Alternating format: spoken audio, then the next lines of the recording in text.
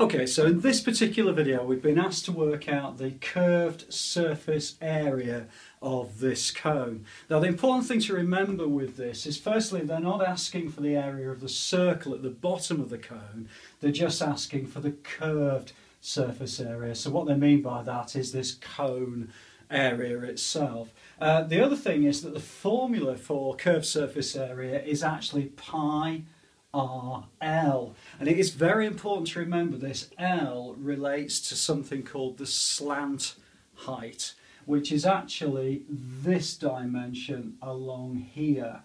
Okay, now what they've given you on this particular um, information on the question is the overall height of the cone.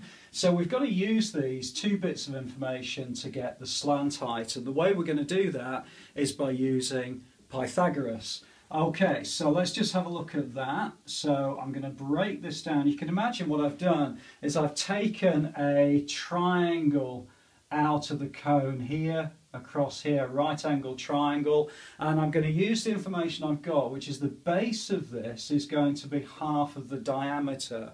So this is going to be 5 and the height of it is going to be an overall height of 12.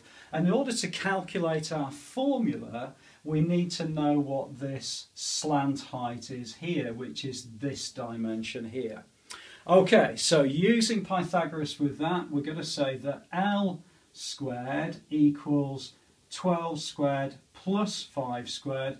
Well, if either you can do that by mental arithmetic or you can pop that in your calculator, but it's going to work out that L squared is 169 or L, which is the bit that we're interested in, is actually 13. So the slant height for this particular cone isn't 12, it's going to be 13 and it's really important. These type of questions do come up quite a lot and people make these sorts of mistakes by using the overall height.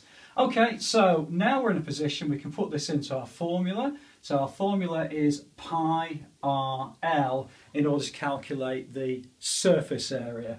Well, pi We've been asked to leave the answer in terms of pi, so I'm not going to worry about that too much. I'm just going to leave it as it is at the moment. I'm going to multiply it by the radius. Now remember that the radius is going to be 5, and I'm going to multiply it by the slant height, which is 13. Well, 5 times 13 is 65. Okay, so my answer to this particular question is pi times 65, or the better way of answering that is to say that the curved surface area of this is 65 pi and that will answer the question on this particular video. Um, I hope that's been okay for you. We did dive straight into it. The key factors to look out for is to make sure you use the slant height. If you haven't got the slant height, use Pythagoras or some other method that they will give you or give you the, the opportunity to use a different method um, to work out this and then leave the answer in terms of pi.